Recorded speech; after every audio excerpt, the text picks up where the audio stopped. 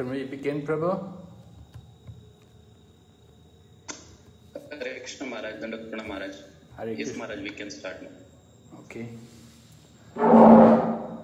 Om Jnanatimurandasya Gyananjana Shalakaya Chaksurunmilitanyena Tasmai Shri Gurave Namaha वञ्चकौपातरुभ्यश्च कृपसिन्धुभयेवचा पठितनां पवानेभ्यो वैष्णवेभ्यो नमो नमः।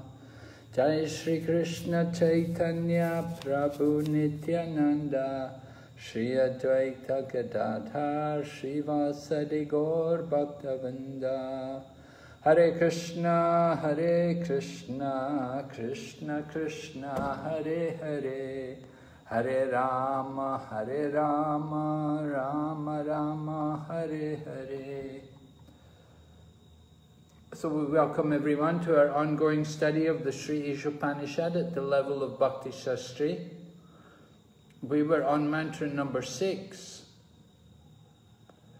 Right? Everybody remember? Mantra six? Hare Krishna Maharaj. यस्तु सर्वाणि भूतानि। यस्तु सर्वाणि भूतानि।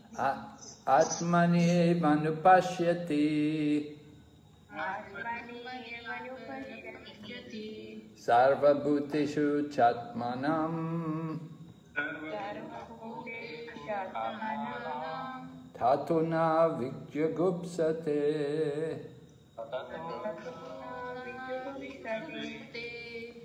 Translation He who systematically sees everything in relation to the Supreme Lord, who sees all living entities and his part, as his parts and parcels, and who sees the Supreme Lord within everything, never hates anything or any being. So we heard this is a description of the Mahabhagavat devotee very advanced devotee, topmost devotee, Mahabhagavat. So in the purport, Prabhupada begins describing different levels of devotees. And we heard about Kanishta devotee, right? We'll ask, who would like to tell us about Kan- Kanishta devotee? What's the nature of the Kanishta devotee? Some Mataji can tell us? Hare Krishna Maharaj, Yes. uh, Kanishta devotee, he looks that the uh, Lord is in the temple only, Okay, very good. and uh, uh, he he always fight with others, and uh, and uh, he never have faith on one thing, always like Uh, and too much materialistic. Oh. But he likes the deity, huh? Yes. There has a lot of attachment to the deity. They like very much the deity. So yes. that's so in that in some ways that's he's a devotee, right? Yes. But he's got limited understanding, Yes, Maharaj. weak faith, maybe, and not much knowledge also. What about Yes, what about the Madhyam devotee then? Madhyam Adhikari, he is he is friendly with the uh, all all types of persons and uh, he sees uh, every everywhere as a Lord and uh, he has a good faith on uh, like strong faith. No, reads- Madhyam devotee, Yeah. Madhyam, intermediate. Is not the highest devotee.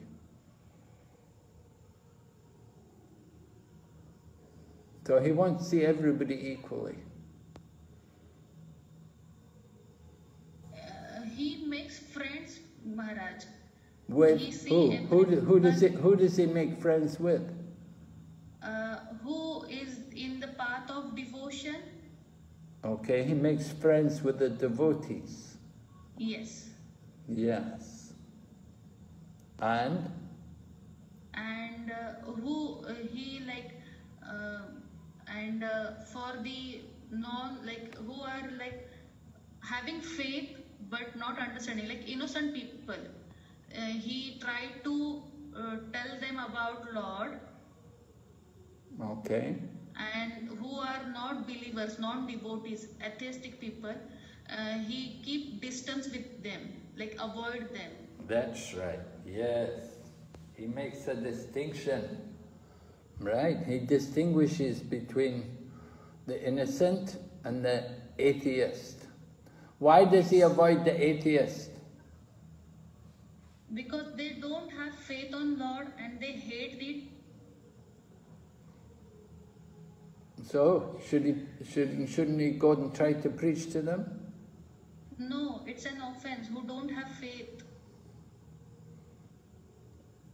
We have to create faith.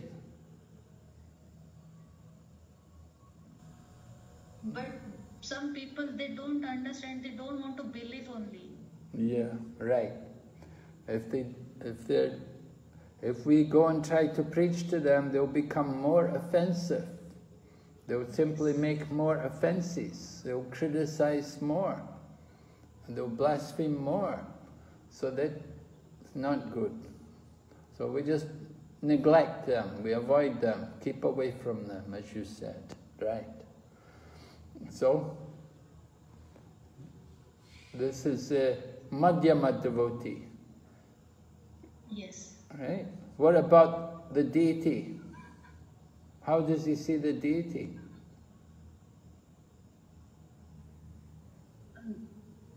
Deity they see like Lord is everywhere. No, Madhyam devotee. Madhyam. Yeah. Does he worship the deity? Yes. Yeah. Yeah, he will. Yes. Yeah, Everybody. He has love and devotion for the deity, right? He makes friends with the devotees. He gives mercy to who? To innocent people. To the innocent people, right? And he neglects or he will avoid the, the blasphemers or those who are openly atheistic. So this is a Madhyama devotee. He makes distinction. So we're going to go on now. We'll hear about the, the Uttama devotee, the topmost devotee. Above, right? Who would like to read for us? Uh, maybe we could hear from Achyuta Chaitan, Achyuta, who's it? Achyuta Giridhar? Yes, Maharaj. Yes, Prabhu, could you read? Purport. Yeah, above the Madhyamadhikari, we already started the purport. I just joined the, above the above the Madhyam Adhikari is the Uttama Adhikari who sees everything in relation to the Supreme Lord. Such a devotee does not discriminate between an atheist and the theist, but sees everyone as part and parcel of God. He knows that there is no essential difference between a vastly learned Brahmana and a dog in the street, because both of them are part and parcel of the Lord. Although they are encaged in different bodies on account of the different qualities of their activities in their previous lives, he sees that the Brahmana particle of the Supreme Lord has not misused his little independence given him by the Lord, and that the dog particle has misused his independence and is therefore being punished by the laws of nature by being encaged in the form of a dog. Not considering the respective actions of the Brahmana and the dog, the Uttama Adhikari tries to go, tries to do good to both. Such a learned devotee is not misled by material bodies but is attracted, but as but is attracted by the spiritual spark within them. Very good. So, Prabhu, Prabhu, can you tell me how can we do good for a dog? Because the dog, how we can do uh, uh, because dog is also has atma, and he is also uh, means the uh, he is also like as a part and he is also as a part and parcel of the Lord. So, what are we going to do? What can we do to help him? Yeah, like uh, dog, we can like we can give him prasadam. Okay. Anything else?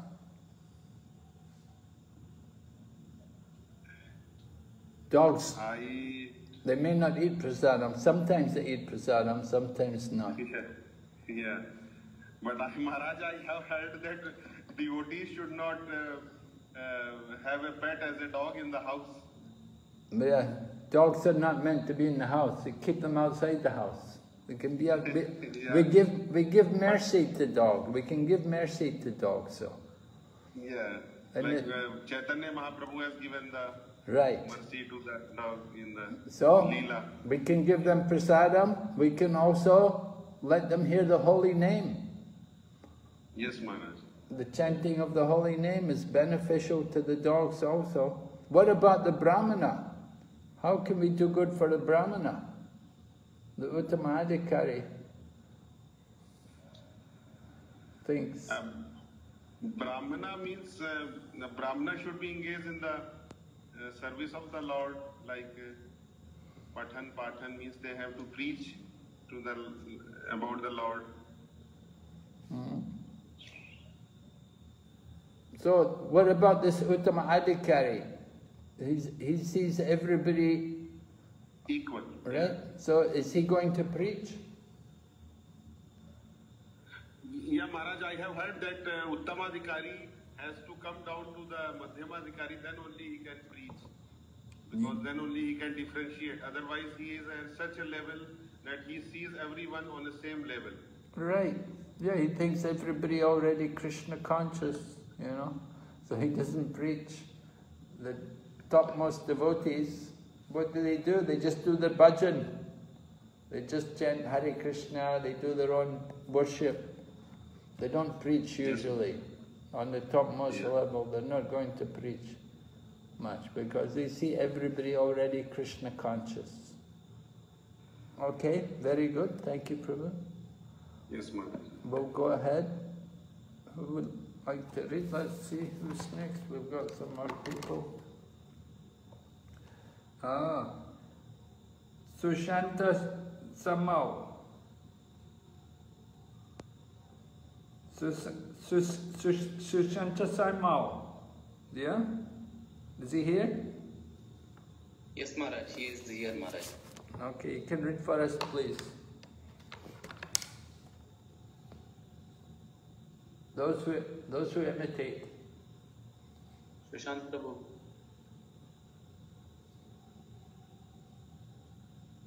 Hare Krishna, Sushant Prabhu. Pushpanjali Mataji, Hare Krishna.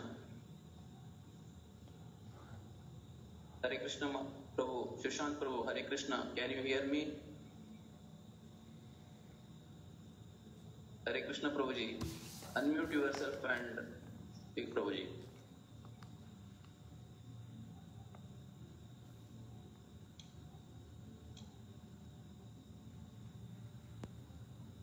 Pushpanjali माता ji Hare Krishna can you hear me Hare Krishna माता ji She just entered, Prabhu.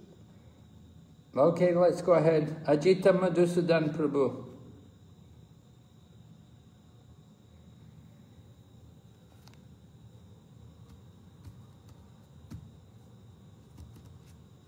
Ajita? No.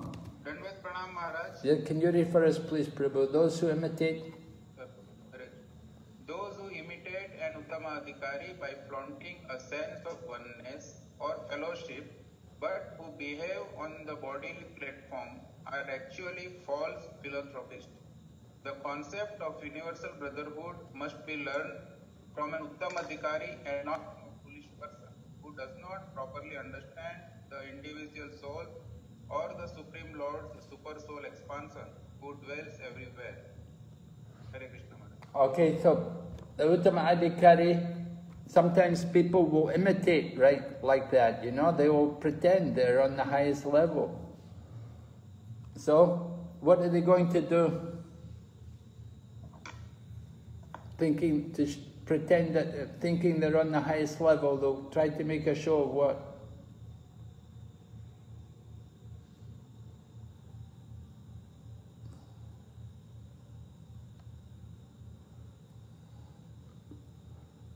How do they behave?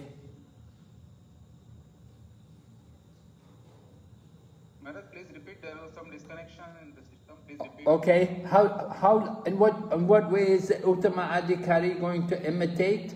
How, in which way is this person imitating that he's Uttam, Uttama Adhikari? How does he behave? Can you tell us in your own words?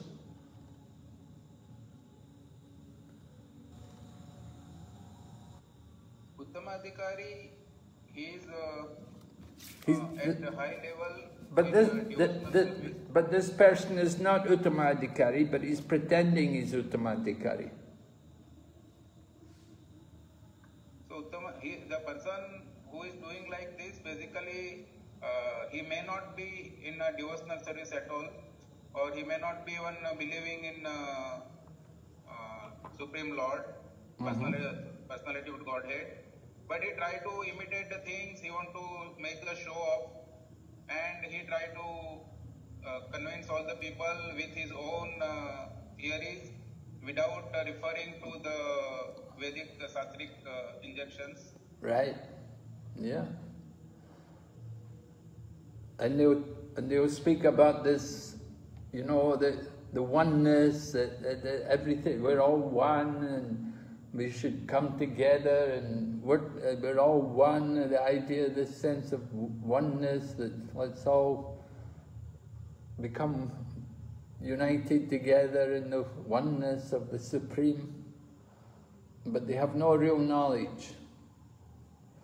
They were never trained, Prabhupada talks, that they have to have, they must be, they must have learned from somebody who is on that platform. They cannot just simply speak about the oneness. So this, this idea, Prabhupada speaks here about the universal brotherhood. You know, we're all one, it's all one, everything's one. But they have no real spiritual understanding. Okay, could you read the next paragraph also, please, Prabhu? Prabhu. Maharaj, it is clearly mentioned in this sixth mantra that one should observe or systematically see. This means that one must follow the previous acharyas, the perfected teachers. Anupashyati is the exact Sanskrit word used in this connection. Anu means to follow and Pashyati means to observe. Thus the word Anupashyati means that one should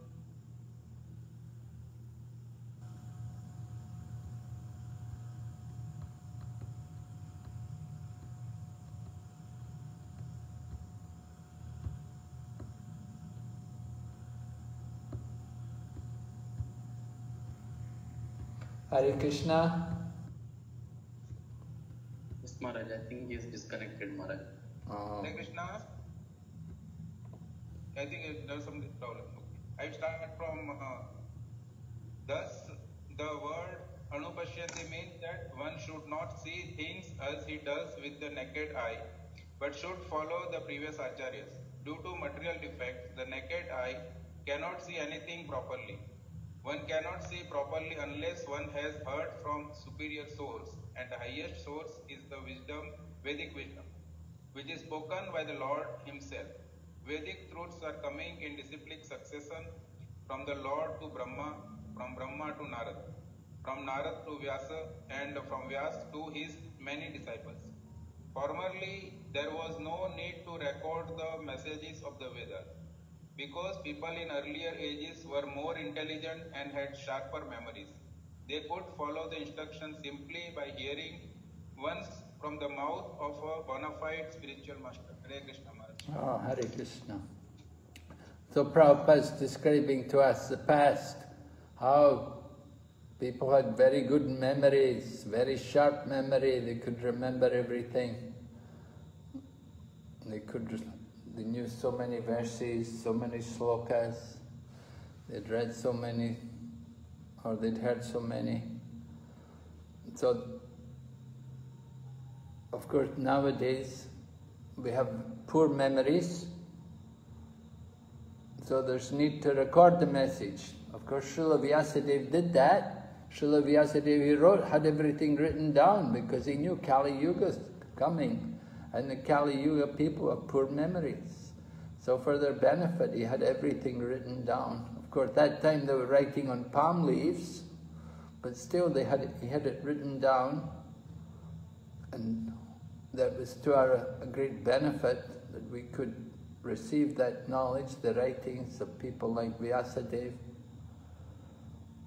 So Prabhupada talks about this important thing, that this anupashyati, we have to see, we have to follow.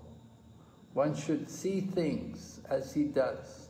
One should, one should not see things as he does with the eye, but we should see through the acharyas, follow the acharyas. In Mahabharat, there's one verse which Prabhupada quotes. It's also quoted in Chaitanya Charit.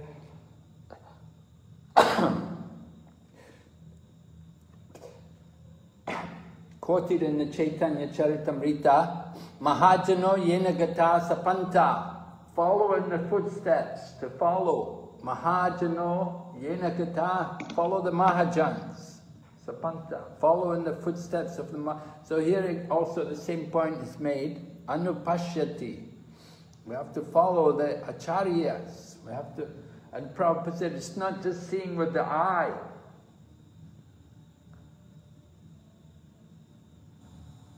The naked eye cannot see properly. But if we hear, so the important thing, it's not just the eyes, but it's the hearing. Right? When we go to the Holy Dham, when people come to the Holy Dham, we often tell them, you don't come here just for the eye exercise. Come here to hear. It's for the ears. Just like we're hearing this Ishopanishad. The, the hearing process is what is important. So we have to hear. And we have to hear through the, the proper channel. So Prabhupada mentions about the disciplic succession. That we want to understand the Vedas, we have to hear it explained. From Brahma to Narada to Vyas, and from Vyas to Madhvacharya, Madhvacharya, Madhavendra Puri, Ishwara Puri, Lord Chaitanya, like that. So there's a line. We have to hear things in the proper manner. All right? So, uh, we'll have somebody else read now. Um, what about pra, Prasanna, Chit, pra, Prasanna Chitta Gopinath? Yes, Prabhu? Prasanna Chit Gopinath, Prabhu? Hare Krishna Maharaj. Yes, can you read for us, Prabhu? At present, there are many.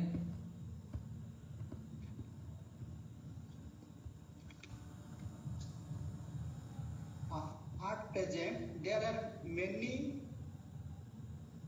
uh, commentaries on the uh, revealed scriptures, but most of them are not in the line of disciplic succession coming from Srila Vyasadeva, who originally compiled the Vedic wisdom. The final most perfect and sublime work by Srila Vyasadeva is Srimad Bhagavatam, which is the natural commentary on the Vedanta Sutra there is also the Bhagavad Gita which was spoken by the Lord himself and recorded by Vyasadeva there are the most there are the most important revealed scripture and any commentator that uh, contradicts the principle of the Bhagavad Gita or Srimad Bhagavatam is unauthorized. There is complete agreement among the Upanishad, Vedanta Sutra, Veda, Bhagavad Gita, and Srimad Bhagavatam, and no one should try to reach any conclusion about the Vedas without receiving instructions from members of Vyasadeva discipline successor who believe in the personality of Godhead and his diverse energies as they are explained in Sri Ishopanishad. Thank, you. okay, thank you, Prabhu. So Prabhupada is explaining the importance of evidence. Right? Yes. Remember we, we studied in the introduction, different kinds of evidence are there? Right? We get e- evidence, what's other sources of evidence?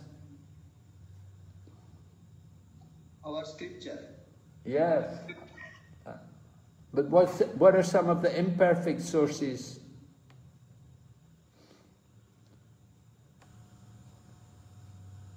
Not everybody goes to this. uh, that uh, comment, commentary of uh, other uh, other commentary other than uh, uh, parampara. Okay. But some, some people simply depend on their own senses. We say pratyaksha, right? Use the senses. They want to understand everything by the senses. Yes. So what's the problem with the senses? Because senses is imperfect, Right. Maharaj. And, and then we try speculation, we use the mind to understand, Yes. hypothesis, right? Yes. Yes, right. And how is that? What's the problem with that? As it is imperfect, so uh, the and imper- imperfect cannot become the perfect. Okay. Come, we may come up with a theory in our mind, and then someone else will come up with another theory and defeat it. And then someone Yes. else will defeat that. So you'll never get any real conclusion simply depending on our own mind. So we need to hear from the scriptures, right? So the, there's different kinds of scriptures, right? What are some of the different divisions of the scriptures? Right? The, the four Vedas, what part of the scripture, what part of what kind of scriptures are the Vedas, the four Vedas? They're called, yeah, Shruti, right. Shruti means what? uh, from discipline succession uh, to hear from the right source. Shruti means the hearing process, right? Hearing. Yes. yes. Hmm? And what about the Puranas, Mahabharat? Where are they from?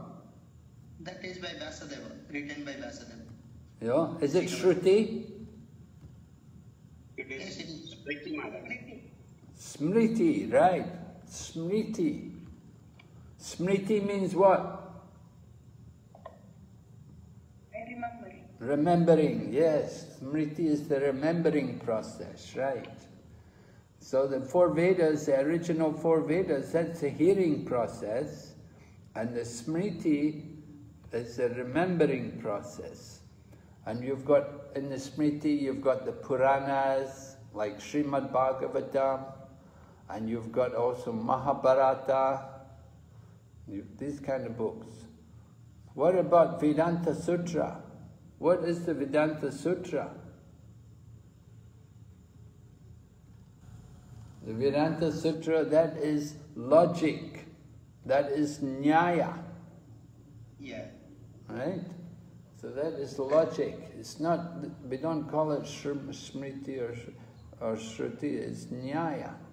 Srila Vyasadeva wrote Vedanta Sutra based on logic. But we can understand the Vedanta Sutra by Vyasadeva's commentary on it. Right? What's Vyasadeva's commentary on the Vedanta Sutra called? The Vedanta Sutra commentary by Srila Vyasadeva is called Yes, Srimad Bhagavatam, yes. Srimad Bhagavatam, Bhagavad Purana. It's Va- Vyasadeva's own commentary on the Vedanta Sutra. The other acharyas, they have their own commentaries also on Vedanta Sutra. Like Shankaracharya, he has his famous Shariraka Bhashya, which is his commentary on Vedanta Sutra. And we have also Baladev Vidyabhusan's commentary, the Govinda Bhashya, which is his commentary on Vedanta Sutra. And Bhagavad Gita is from Mahabharata, right? So Bhagavad Gita is also from Srila Vyasadeva. So you have the Upanishad, the Upanishads, Upanishads are Shruti or Smriti. Upa- ah?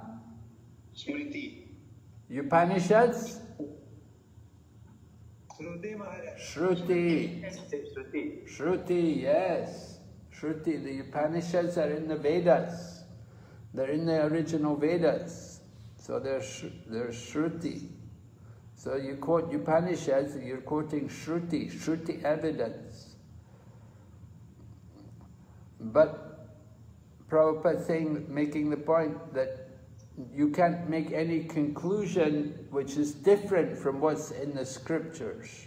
Whatever you try to present, it has to be supported with the evidence of the scripture. Shastra Praman, right? You have to have the evidence of the scriptures, and then you can present some conclusion, you can make some point. And Prabhupada also makes the point that all the Vaishnava acharyas, they believe in the personality of Godhead and his diverse energies. Now Shankaracharya, he doesn't say like that. The Mayavadis, they won't say like that. But the Vaishnava acharyas, they will say. They all believe that there's a Supreme Lord and his energies. And the living entities are the energy of the Lord, the servants. Okay? So this is the Vaishnava commentary. We'll go ahead. Somebody, need somebody else to read for us. Uh, we have uh, uh, Prema, Premanjana Gopesha. Oh, Prema, Prema Maya Gopesh. Hare Krishna Maharaj. Hare Krishna Prabhu. According to the Bhagavad, according to Bhagavad, according to the Bhagavad Gita 18.54, only one who is already on the liberated platform Brahma Bhuta can become an Uttama Adhikari devotee and see everything being as his own brother. This vision cannot be had by politicians who are always after some material gain. One who imitates the symptoms of an Uttama Adhikari may serve another's outward body for the purpose of fame or material reward, but he does not serve the spirit soul. Such an imitator can have no information of the spiritual world. The Uttama Adhikari sees the spirit soul within the material body and serves him as spirit. Thus, the material aspect is automatically served. Yes? So one is, is Prabhupada's quoting Bhagavad Gita 1854, right? One is already, one, only one who's on the liberated platform can become an Uttama Adhikari platform, can become Uttamadhikari. So what, what does this mean, liberated platform? How is it described there in the Bhagavad Gita? Bhagavad Gita, it is like Brahma Bhuta Paras Prasannatma Na Shochi Na Shochati Na Kankshati. Okay. Sarveshu Can- Deshu Can, can you explain it to me? I can't understand the sloka. Can you explain the words to me? Uh, the uh, uh, the uh, devotee actually sees everything on you know at at the Brahma as well as at the spiritual level. Well, he's not on the Uttamadhikari platform yet. He's just coming to the liberated platform. From the liberated platform, then he has to go on to become Uttamadhikari. We just want to know, first of all, about the liber- liberated platform. he's in the transcendental situation, like he's on the transcendental, he's transcendentally situated. What does that mean? What does that mean, transcendentally situated? Like he realizes the, uh, uh, means he realizes supreme Brahman, and uh, he actually he's in a joyful position. I don't know that he's realized the Supreme Brahman. That would be, that's a higher stage. He's only come to the, the Brahm Bhuta platform. He's, he's not yet realized the Supreme Brahman. What, what has he realized? Uh, seeing every living being as his own brother, like uh, as his, Okay, how does, how, why does he see that? or some material like. Uh, Why does, it, why does he see every living being as his brother? Uh, because he understands that the, he's also the same part and parcel of the Supreme Lord whom he himself belongs to. So he can see within uh, him the spirit soul and Right. the material body also. Right, he's identified that he's not the body, right? That he's Yes. Brahman, and that all the other living entities are also parts of the Brahman. This is the Brahma Bhuta platform, Brahma Bhuta, knowing that we're Brahman, we're part of the Brahman. So he sees all the living entities, they're also Brahman, he knows he's also Brahman. So he's, he's joyful, he's happy about it, yeah, detached from the body. So that's, that's the beginning, that's the liberation, liberated from the bodily conceptual, concept of life. So then he can go on to think about advancing more. And maybe he can go on to become an Uttaman Adhikari devotee. Okay, and then this Prabhupada talks about politicians. you know, you know, the, the, they, of course, they, in India it's very convenient for a politician to also present himself as being some kind of religious person or spiritual person. Mm, People will have a lot of respect for him. But Prabhupada explains that to actually be on that level of the Uttama Adhikari, they have to be really detached from the body. If they're still in the bodily conception of life, then they cannot be Uttama Adhikari. Uttama Adhikari does not identify with the body.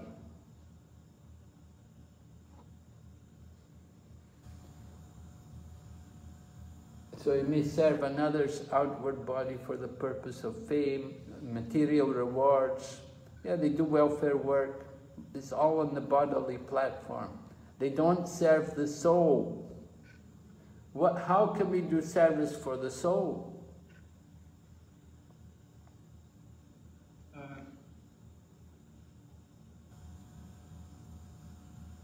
by actually making him, uh, by directing him to Krishna or uh, the authorized like representative of Krishna. Yes, the soul wants to connect to Krishna. How can how can it connect to Krishna? What do you ha- what what is this? What's the best thing we can give for the soul? Uh, oh, that is Yes, what? holy name. The holy name, yeah. Let them, the soul, awaken the soul by chanting of the holy name that awakens the spiritual soul. The spirit soul, we can connect to Krishna through chanting of the holy name. So that's very important. The chanting of the holy name, spiritual activities like the glory, describing the glories of the Lord and the qualities of the Lord and praising the devotees who serve the Lord. This is all very good way to connect to the to connect the soul to the supreme soul. The Uttama sees the Uttama Adhikari sees the spirit soul within the material body and serves him as spirit. So, so we have to understand how to actually serve as spirit.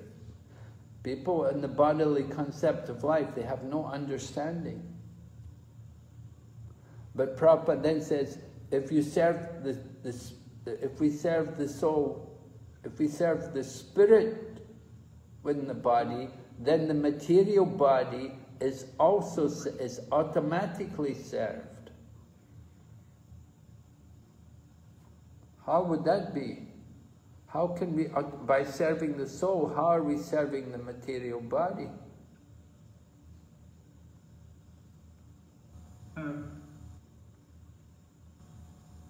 uh, because if the if the soul is uh, the because by connecting to Krishna, it is like you know watering the root of the tree.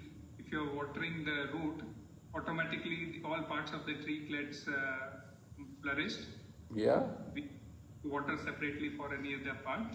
Similarly, if we feed the soul, and uh, so you know take care means uh, uh, chant holy name of Krishna, be in Krishna consciousness, automatically all of other things get uh, satisfied. Okay, yes, very good, yes, I think so. We see actually people come to Krishna consciousness and they may have so many material desires in the beginning, but by chanting Hare Krishna and by serving Krishna, then they feel peaceful, satisfied. There are many examples. People just come and do service. In the beginning, they come with so many motives, but by simply by serving Krishna, all their material desires are forgotten, and they become happy in Krishna consciousness. All right, let's go ahead. Text number seven, mantra seven. You can repeat. Yasmin sarvani bhutani. Atmaniva buddhajanataha.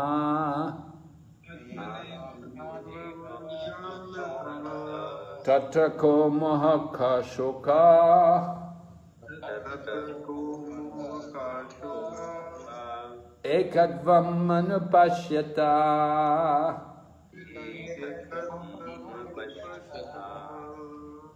Translation One who always sees all living entities as spiritual sparks, in quality one with the Lord, becomes a true knower of things.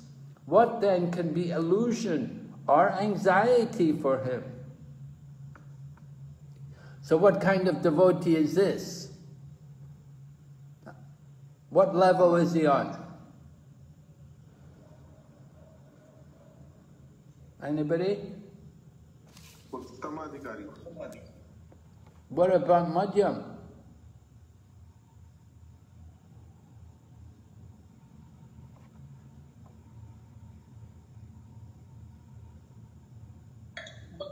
Krishna Maharaj, Dandavat Pranam at your divine lotus feet. Am I allowed to answer? Yeah? Uh, I assume this is Madhyam Adhikari, he has the knowledge but he doesn't have the implementation. It's, it's what? Say again? He has the doesn't have the implementation of that knowledge. He's a Madhyam. Yeah. Yeah, it could be both Madhyam and it could also be Uttama. Both. Both. Eh, it may be, he may be a Uttama, he may be a Madhyam. But Kanista, they won't have, they won't be able to see like that. He doesn't see all living entities equally, quality one with the Lord. That, so the Kanista's out, because he only sees the deity. But the Madhyam, he sees like that, he sees like that. He may, he may ignore the atheists, but he knows they're spirit souls, Yeah. right? Like, like here, uh, that's both famous sloka that means Vidya Vinaya Sampanne, Brahmane Gavi Hastini, Ah. Viveka Sapapinte Pandita Samodashina. Yeah, see every living, right? Pundit sees with an equal vision. Elephant, the cow, the dog, and the dog eater. Learned, gentle Brahman. A similar verse, okay. So we're hearing about more. Let's somebody like to let's see who can read for us. Maybe Maharaji's want to read a little. Uh, Maharaji, Bindiya. Bindya Maharaji here. Yes, uh, yes, Maharaj. You can read for us, please, purport, beginning purport.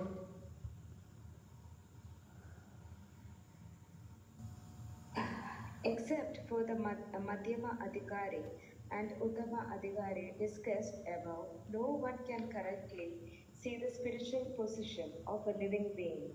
The living entities are quality, qualitatively one with the Supreme Lord, just as the sparks of a fire are qualitatively one with the fire. Yet sparks are not fire as far as quantity is concerned. For the quantity of heat and light present, uh, present in the spark is not equal to that in fire.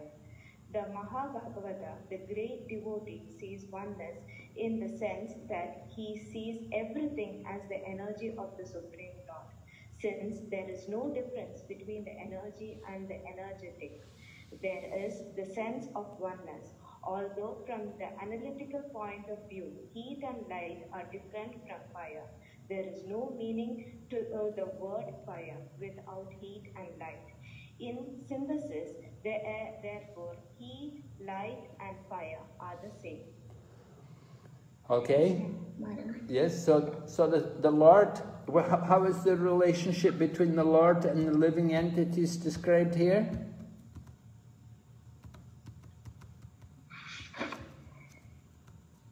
Bindya Mataji?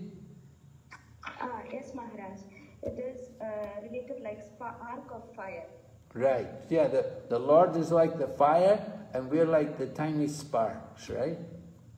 So we have we have the oneness, the sense of oneness in quality, but different in quantity. The spark is not equal to the fire. So Prabhupada says, Prabhupada said, Mahabhagavat, great devotee, sees oneness. So this the Mahabhagavat, that's the Uttamadhikari, generally. And that he sees everywhere the energy of the Supreme. So there's the energy of the Lord, and there's the source of the energy, the energetic. And Prabhupada said, this, this, this is the same thing. The sense, there's a sense of oneness there. There's no difference between the energy and the energetic. Because the energy comes from the energetic. So they're the same. In a sense. It gives, it gives, it says, analytically there's some difference, but in the general sense there's no difference. So it gives the same example about the fire, that heat and light are there in the fire. The heat and light are not separate from the fire. So understanding the Lord and the living entities, seeing the, the living entities in relationship to the Lord. Okay, we'll go ahead. Uh, we can have another lady read for us here. Let's see. Oh. Mataji, uh, Subangi Harini Mataji. Oh, Sub- Harini. Hare Krishna Maharaj. Yeah, can you read Mataji? In this mantra, the word Ekatvam Anupashyatah indicate that one should see the unity of all living entities from the viewpoint of the revealed scriptures. The individual sparks of the Supreme Whole, the Lord, possess almost 80% of the non-qualities of the whole, but they are not quantitatively equal to the Supreme Lord. These qualities are present in minute quantity, for the living entity is but a minute part and parcel of the Supreme Whole. To use another example, the quantity of salt present in a drop is never comparable to the quantity of salt present in the complete ocean. But the salt present in the drop is qualitatively equal in chemical composition to all the salt present in the ocean. If the individual living being were equal to the Supreme Lord, both qualitatively and quantitatively, there would be no question of his being under the influence of the material energy. In the previous mantras, it has already been discussed that no living being, not even the powerful demigods, can surpass the Supreme Being in any respect. Therefore, Ekatvam does not mean that a living being is equal in all respects to the Supreme Lord. It does, however, indicate that in a broader sense, there is one interest. Just as in a family, the interest of all members is one, or in a nation, the national interest is one, although there are many different individual citizens. Since the living entities are all members of the same Supreme Family, their interest and that of the Supreme Being are not different. Every living being is the son of the Supreme Being. As stated in Bhagavad Gita 7.5, all living creatures throughout the universe, including birds, reptiles, ants, aquatic, trees, and so on, are emanations of the marginal potency of the Supreme Lord. Therefore, all of them belong to the family of the Supreme Being. There is no clash of interest. Okay, thank you very much. Very nice to hear this, how there's oneness within the world, right? Oneness in the sense, how is there the oneness, Maraji? They are all from qualitatively, it it is same with the Supreme Lord. Right, that we have the qualities, right? And did you notice Prabhupada, he mentioned about this, uh, he talks about 80, nearly 80%, right? Yes. Do you know where that came from?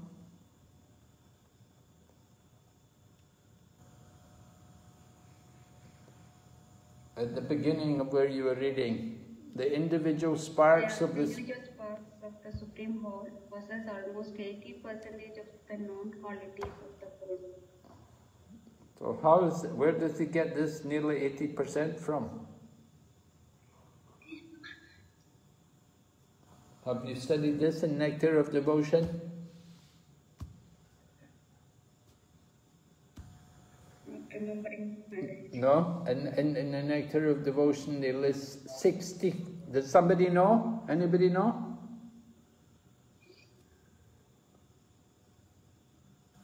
Anybody open?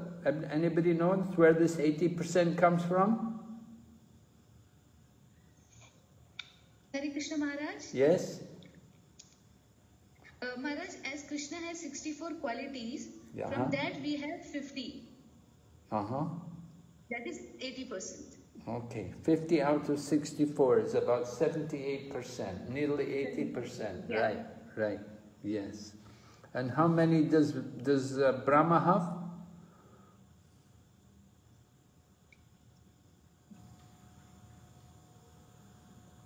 Uh, Brahma 60. Brahma, 50 Maharaj. huh? 50 Maharaj. Brahma also 50, right? Brahma's a jiva, right? He's a living entity, he's a jiva. And what about Shiva? 55 Maharaj. And Vishnu? 60. Okay. So there are four qualities unique to Krishna. Right? What are the four qualities? All attractive. Madhurya, Madhurya. Venu Madhurya. Venu Madhurya. Venu Madhurya. Lila Lila Madhurya Rupa Madhurya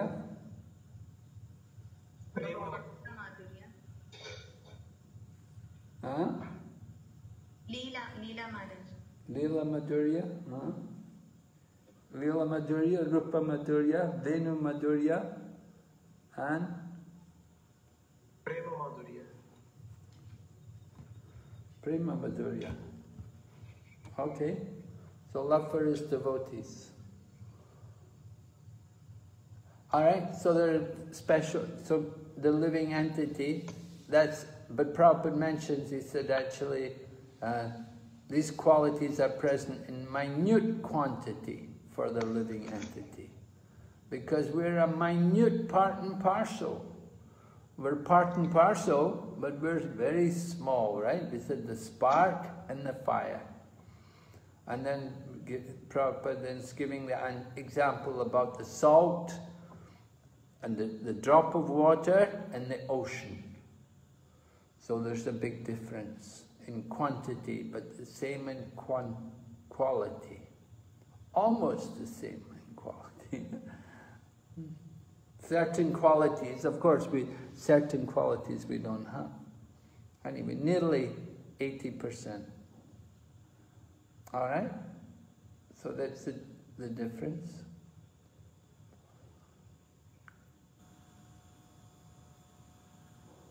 Okay, so we'll go ahead. The spiritual entities. Uh, we'll have, oh, let's have a man read now. Uh, uh, Dina Pavani. Hare Krishna Maharaj. Dina Pavan, yes, Prabhu, please. Yeah. Hare Krishna Maharaj, Dhanvat Pranam. Yeah, the spiritual entities are meant for enjoyment as stated in Vedanta Sutra 1.1.12. Anandamayo Vyasat. By nature and constitution, every living being, including the Supreme Lord and each of his part and parcels, is meant for eternal enjoyment. The living being who are encaged in the material tangible are constantly seeking enjoyment, but they are seeking it on the wrong platform. Apart from the material platform is the spiritual platform where the Supreme Being enjoys himself with his innumerable associates. On that platform, there is no trace of material qualities, and therefore that platform is called Nirguna. On the Nirguna platform, there is never a clash over the object of enjoyment. Here in material world, there is always a clash between different individuals being because here the pro, uh, the proper center of enjoyment is missed. The real the real center of enjoyment is the Supreme Lord, who is the center of sublime and spiritual rasa dance. We are all meant to join him and enjoy life with one transcendental interest and without a clash. That is the highest platform of spiritual interest. And as soon as one realize, realize this perfect form of oneness, there is no question of illusion, moha, or lamentation, shoka. Hare Krishna Maharaj. Uh-huh. Thank you, Prabhu. Okay, all right, so Prabhupada's talking about nirguna. Right? On that platform, there's no trace of material qualities. So does that mean the Lord doesn't have any qualities?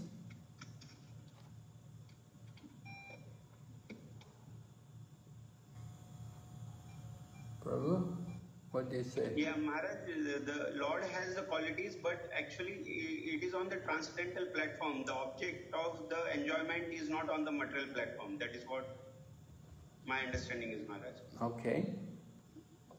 So what are some of the Lord's qualities then? So, l- Lord has 64 qualities, like, uh, and among them is like, uh, he's all attractive and he, uh, uh, his Leela Purushottam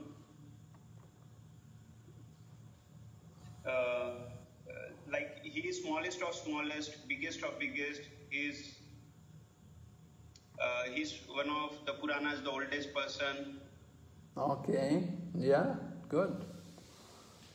And where, where Prabhupada he talks about how the, the Lord is he, he likes to enjoy. He quotes this Anandamayo 'bhyasat, that, that the nature of every living entity is for enjoyment.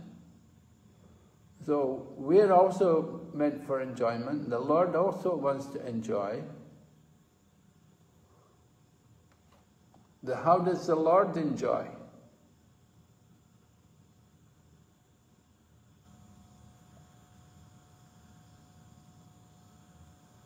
When the Lord wants to enjoy, what does He do for His enjoyment? Well, actually, everything is for His enjoyment. So how does He enjoy? He go and associates with his devotees, and their activities, what is uh, they're doing it, the Lord is enjoying them. What, what are they doing? What are their activities? Can you tell us? Their activities, uh, they don't see as a Lord, uh, as a Supreme Lord.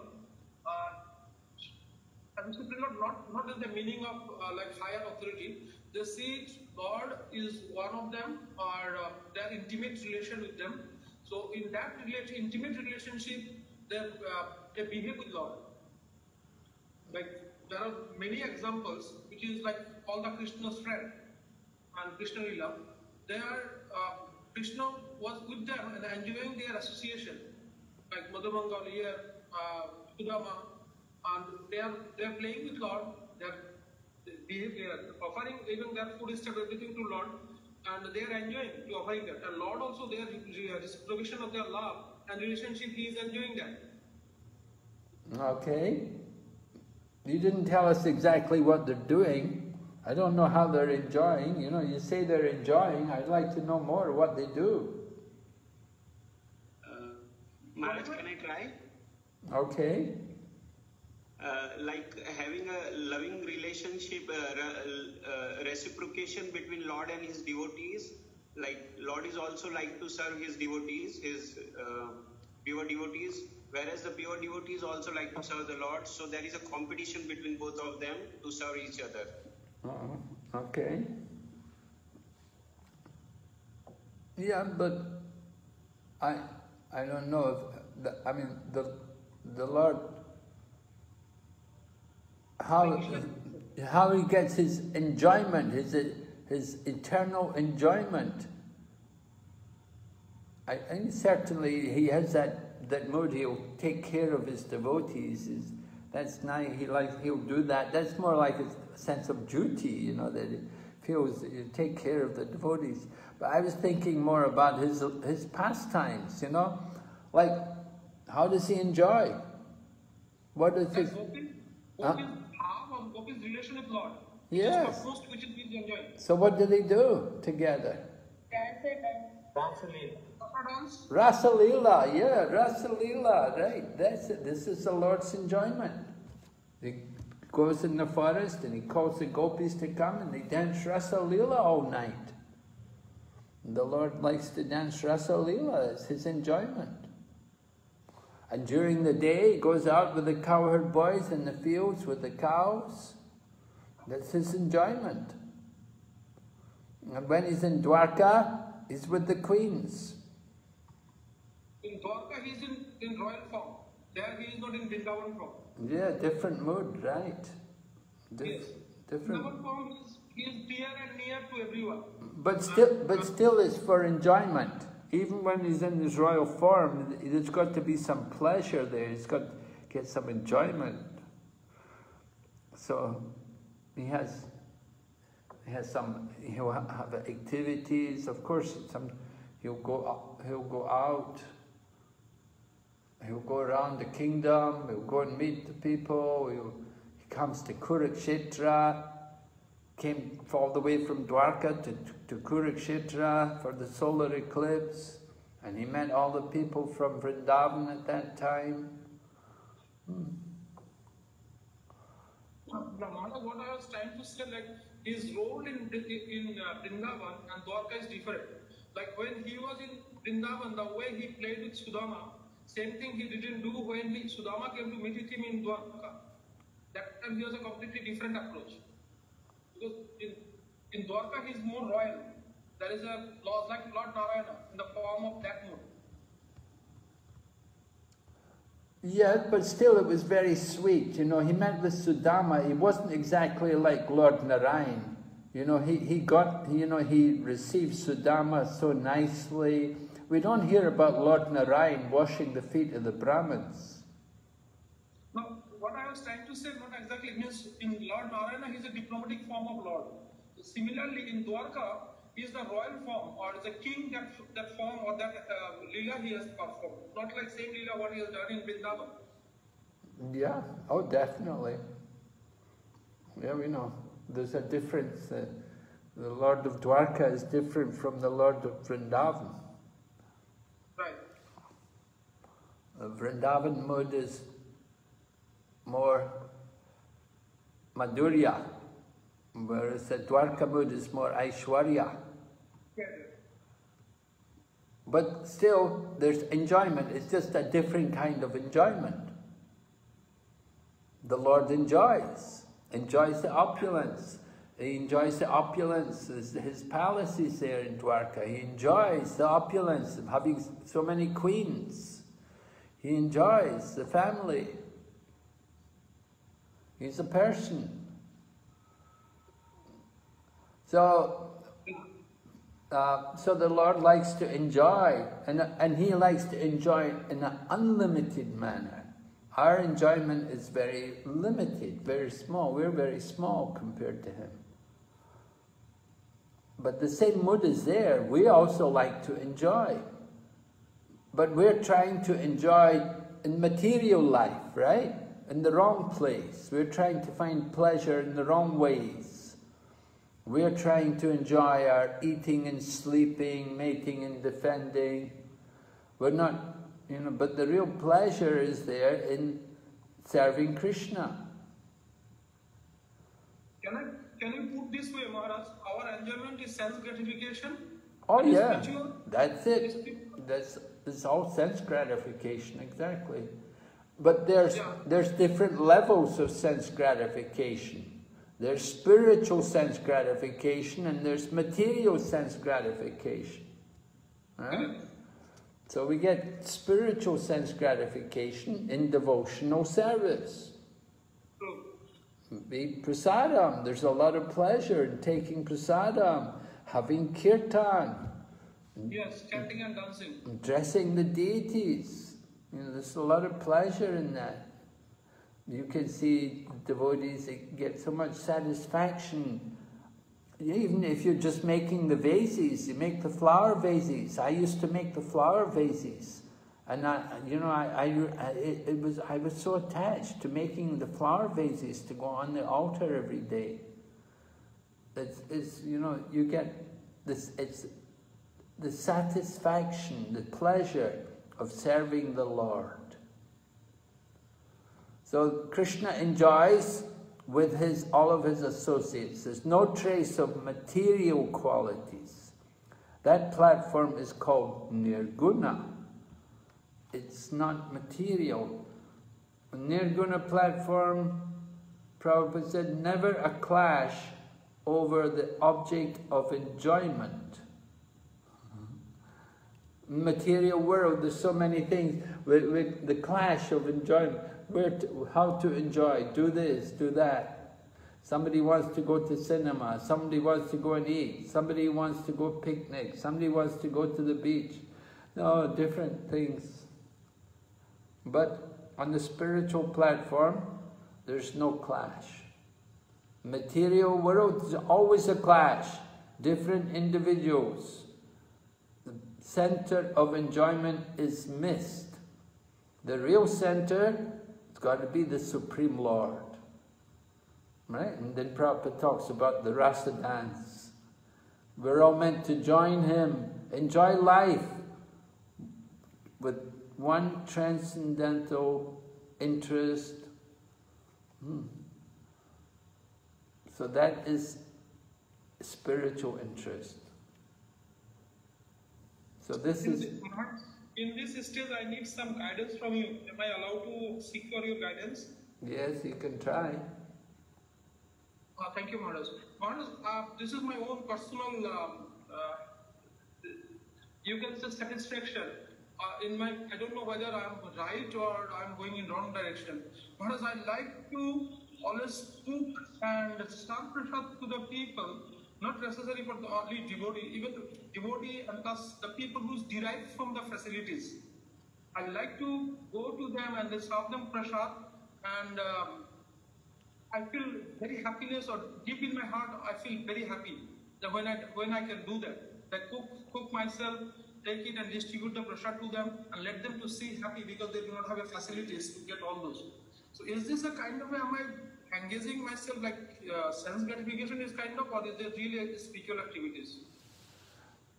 Well, if the food is offered to Krishna, Certainly, certainly. and then ide- ideally, when we serve prasadam, we want to also chant the holy name of Krishna. See, like here in Mayapur, Prabhupada said he didn't want the people taking the food home because he said if they take the food home, they'll mix it with fish. So he said that's not good. If they, if you give people prasadam and they take it and mix it with fish or with meat, it's not good. No, no, that, that, that will not be there, that I'm sure, I am aware. They were not going to do that. Uh-huh. Yeah. So, when the, you see, the, the, the best way to give prasadam is that you give it along with the chanting of the holy name.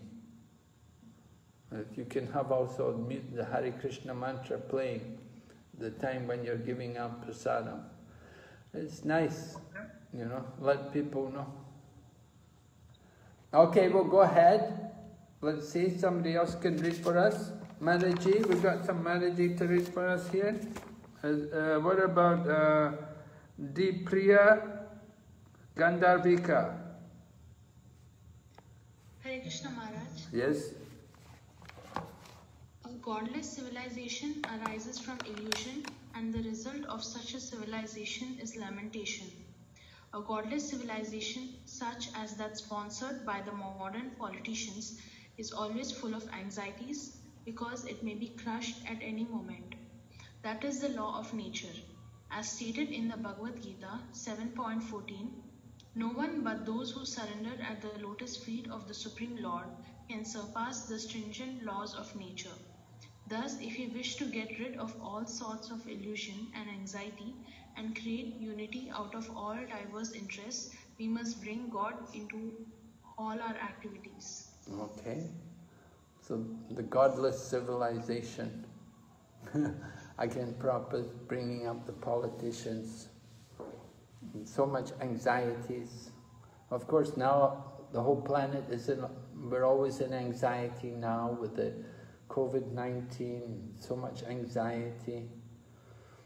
So material world is like that. It's a place of anxiety, right? The spiritual world means no anxiety, Vaikuntha. But the material world by nature is full of anxiety. So Prabhupada's solution is surrender to Krishna. And he quote 714, by surrendering to Krishna, you get rid of all the illusion and anxiety. So we bring God into all of our activities. Right? You're going to do charity, do it in God consciousness. You're going to work, work in God consciousness. Eating, sleeping, Krishna says in Bhagavad Gita, what is, where does Krishna mention about this? Doing everything in God consciousness? You know the verse? Krishna says, all that you do, all that you eat, all that you offer.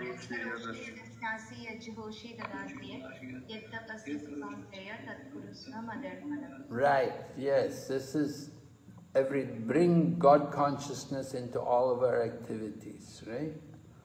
This is important. Okay, let's have another person read here. Uh,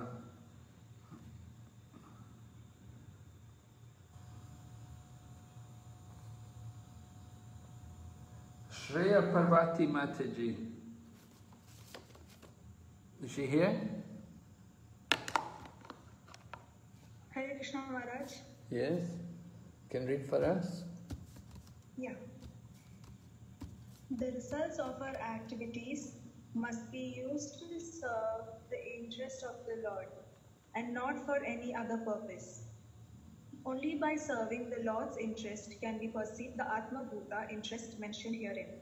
The Atma Bhuta interest mentioned in this mantra and the Brahma Bhuta interest mentioned in the Bhagavad Gita 18.54 are one and the same. The Supreme Atma or soul is the Lord Himself, and the minute Atma is the living entity. The Supreme Atma or Paramatma uh, alone maintains all the individual minute beings, for the Supreme Lord wants to derive pleasure out of their affection. The Father extends Himself through His children and maintains them in order to derive pleasure. If the children obey the Father's will, family affairs will run smoothly with one interest and a pleasing atmosphere. The same situation is transcendentally arranged in the absolute family of the Parabrahman, the Supreme Spirit.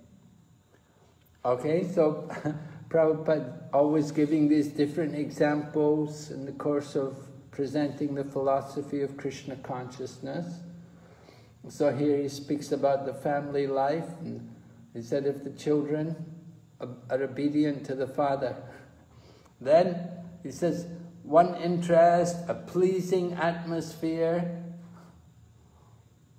So the same situation is there with Krishna.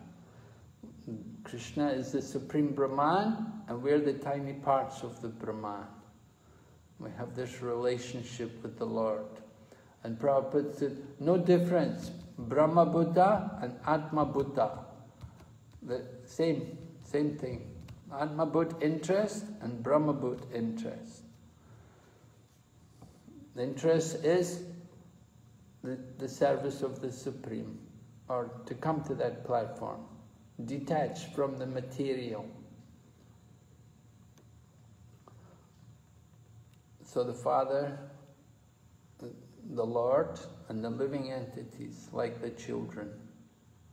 Okay, we'll go ahead. We'll have another, let's see some. Uh, Sar, Sarvapati Rama Ramachandra, Surapati Ramachandra. Is he here? Surpati Ramachandra Prabhu? No?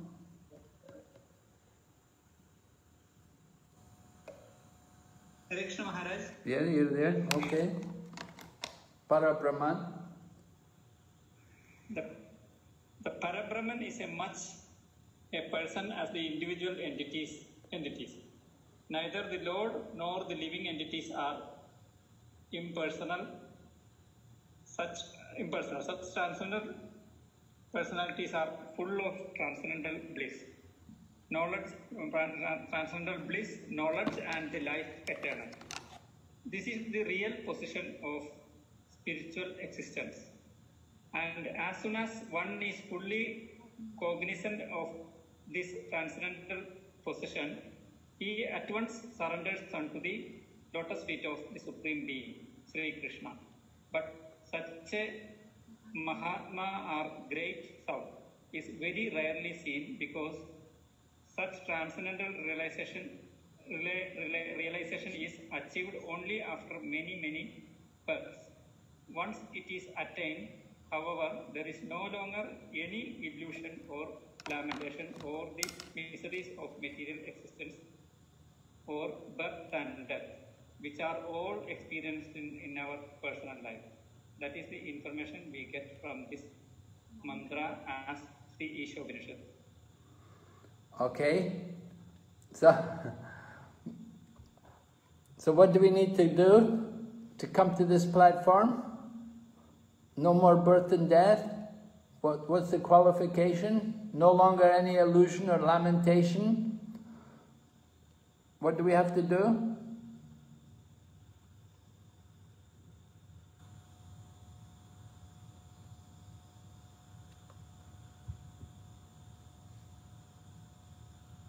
Hare Krishna? They have to surrender unto the lotus feet of uh, Sri Krishna Maharaj. Okay, have to surrender, take shelter of the lotus feet of the Lord. Yeah. We have to become Mahatmas, right? Yes, sir. What, what's a Mahatma mean? Why is he a, why is he a great soul?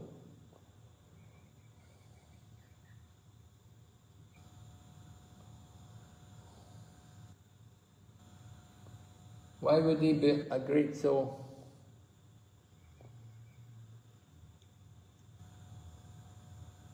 Because it's achieved only after many, many births.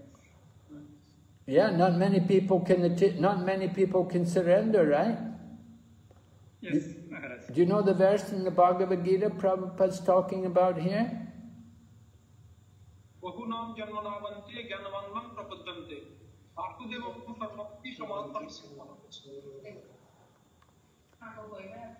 Okay, after many births and deaths, one who is actually in knowledge surrenders to me. Such a soul, such a great soul, very rare.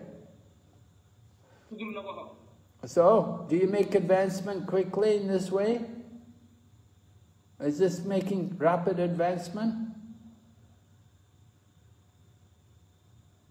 Maharaj, is this correct? We are fully uh, cognizant for this transcendental position.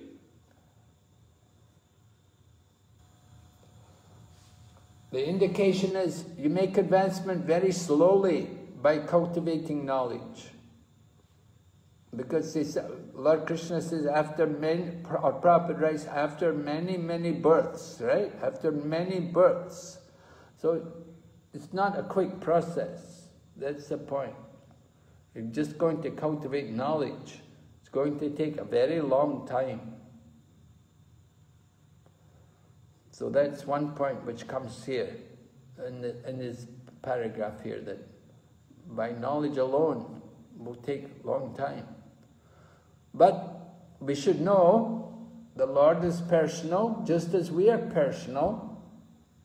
Transcendental personalities are full of transcendental bliss. Just as the Lord is full of bliss and knowledge eternally, the living entities are also meant to be like that. We have to come to that platform. This is the real position of spiritual existence. We should feel very joyful and blissful in Krishna consciousness. When we are fully aware of our transcendental position, we'll feel joyful and we'll be happy to surrender to Krishna. It's not that, oh, I have to surrender, oh, you know, the, and you lament. No, but joyfully we come and want to surrender to Krishna. We feel very happy be, to be engaged in Krishna's service. So this is uh, the position of the advanced devotees, right? That they can recognize their spiritual nature, they understand their spiritual nature. So they're free from hankering and lamenting. And there's a sense that there, there is no anxiety, no fear. Right? When devotee asks Prabhupada, what do you what do you feel when you chant Hare Krishna? Srila Prabhupada said, I feel no fear. Hmm? That's very important. That's the transcendental platform. You're detached from the material world, detached from the material body. No fear. Material world, everybody's in fear. Why? Because we're thinking about the body. We know our body's temporary. So we have a lot of fear. We have to understand our spiritual nature. That service to Krishna will go on eternally. Krishna consciousness is something eternal, never ends, right? When we serve Krishna, we serve Krishna here, we'll go on and serve Krishna in the future, the next life, birth after birth. Even if we stay in the material world, we can go on serving Krishna. It's not that we have to go back to the spiritual world. Wherever we go, we can serve Krishna. So a devotee wants that consciousness. Keep me engaged in Krishna service. So, what, what was it? This ekatvam anupashyataha? Do you know the meaning? Mataji? Bindia? Do you remember the meaning? Ekatvam anupashyataha?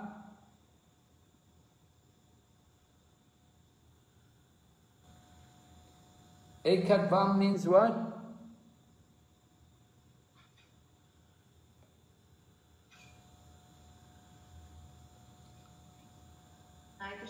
Oneness. Oneness. Right? So in what sense, what sense is there oneness in Krishna consciousness? Where's the oneness? Seeing the Lord in all the living entities. Seeing as a part and parcel of the Lord Brahman. Okay. Quality. What? Quality. Oneness. But What? in quality, oneness. In Oh. quantity, uh, different. Yeah. So what? In in in we have the the sense of oneness is there in the in the sense that we're spiritual, right? And, Yes, and, a- a- another point in which we can also think of oneness. We have oneness what, with something in common with Krishna. The enjoyment. Yes, okay. Krishna likes to enjoy. We also like to enjoy. And also, Krishna, the, the interest. Krishna, the, the, Prabhupada talked about the family interest. In the family, right, the father and all the family members, they have the same interest. Their interest is the family. right? They're thinking our family. Just like Prabhupada said, even on a national level, we're thinking our country, you know, our country, my country, our country. And so that this interest, the common interest. So we have to have also this the same interest as Krishna. And Krishna's interest, Krishna's interest, well, he comes as Lord Chaitanya Mahaprabhu, right? Why did Lord Chaitanya come? Chaitanya actually came for uh, two, two vital reasons. One is external and internal. External reason also there are three. Internal reason also there are three. Could I elaborate, Maharaj? Well, I wasn't asking you, I was talking to somebody else. Oh, I'm sorry. I'm sorry. My apologies, Maharaj. yeah.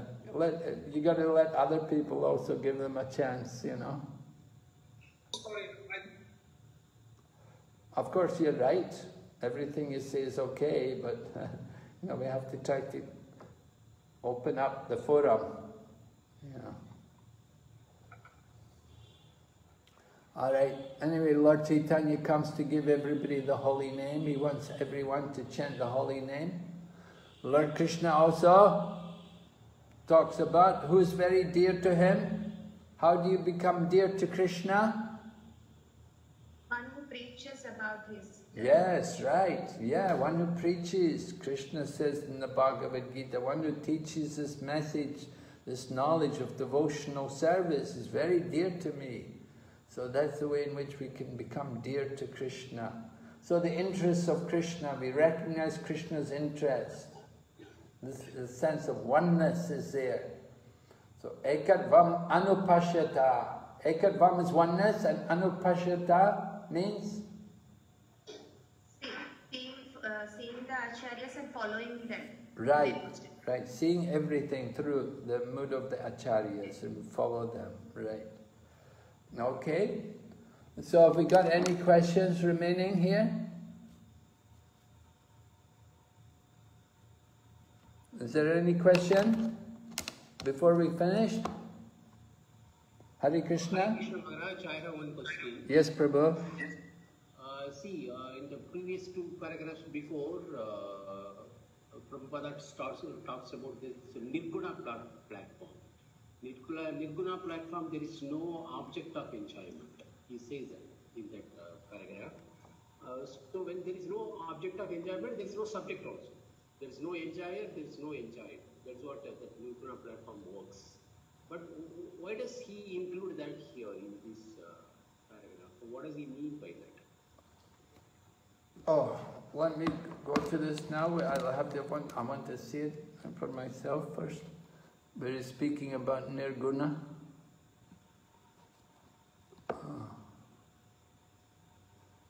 Before, before. Oh. Uh, there is no uh, point of liberty. Huh? The previous paragraph, I think. On that platform, there is no trace of material qualities. Yeah, yeah, yeah. Huh? This is same paragraph. That paragraph. On, on, the Nirguna platform here, it is there. So it is there. Where on is the Nirguna platform, there is never a clash over the object of enjoyment. Uh huh. But I don't. I didn't see that. What you said. What you said. There's no. What? How did you say? Uh, there is no object of enjoyment. That's what he means, isn't it? On the Nirguna platform, there is there is never a clash over the object of uh, enjoyment. That means that there is no object. No, no. It doesn't mean that. There's never a clash over the object of enjoyment. There must be an object of enjoyment. But the point Prabhupada is saying in material world, they will have different objects of enjoyment. But the devotees have the one object of enjoyment. Not that there's no, no, there must be an object of enjoyment, but they have the common object of enjoyment. They have the common interest. Right? We're talking about the common interest. One interest. The one object of enjoyment is common, so there's no clash. But the clash is there when you have different objects of enjoyment. Somebody wants to enjoy one way, somebody wants to enjoy another. So the, the point is to put Krishna there in the center. Then there's no clash. So object of enjoyment has to be there. Yes, Maharaj. Okay? Yes, yes. Alright, any other question there? Otherwise we'll just finish here tonight. We're on time. Okay, thank you very much. So I'll meet you on Friday. We'll continue. Srila, His Holiness Bhakti Vighna Vinasa Narsi Maharaj ki jai. Srila Prabhupada ki. Thank you, Maharaj. Thank you, Maharaj. Thank you, Maharaj. Hare Krishna. Hare Krishna.